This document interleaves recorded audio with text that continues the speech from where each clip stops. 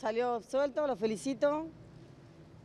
Tengan, tengan sabiendo que él es portador de tres armas, con una 9 milímetros mató a mi hijo, le quedan 2.38.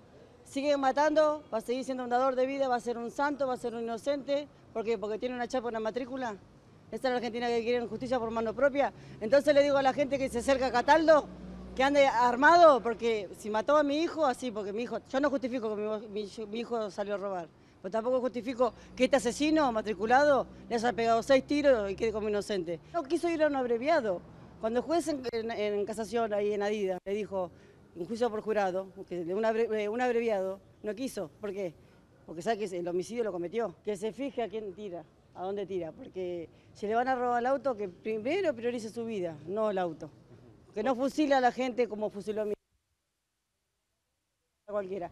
Sea de plata, no de plata, que este otro, al que se arrime a Cataldo es muerto seguro. ¿No cree en esta justicia usted? No, yo quería que la pague. Me fusiló mi hijo de seis tiros. ¿Eh? Él- él- para eso estamos acá en el Palacio de Justicia. Mi hijo tendría que estar hoy ajusticiado por tentativa de robo automotor. No, yo haciendo justicia por mi hijo que tiene seis tiros encima. Con el tiro en el corazón me lo mató mi hijo y le siguió tirando. ¿eh? De ocho tiros, seis impactaron el cuerpo de mi hijo. ¿eh?